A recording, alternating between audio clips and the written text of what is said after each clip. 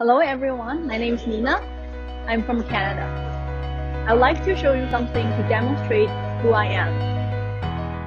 I am an outgoing person. I regularly host networking events that connect professionals from diverse cultures.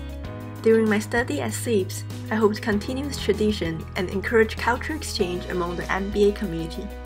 I am a promoter for animal welfare. I think it's important to live in harmony with our animal neighbors. Each year, I spend a week in the mountains of Shanxi province to protect Chinese leopard. Last year, I produced a documentary about the impact of artificial intelligence on animal conservation. 我们最不希望的就是这种美丽的豹子，像华南虎一样在野外消失。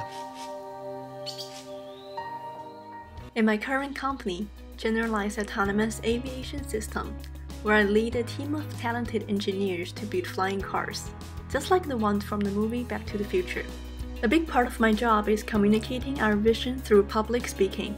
With my words and actions, I represent the company's brand, vision, and culture.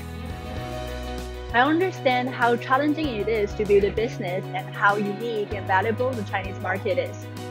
And I also know that CEIBS will provide me with the necessary knowledge and tools to further advance my career in brand management. I cannot wait to be part of the CEIBS community and I hope to see you soon.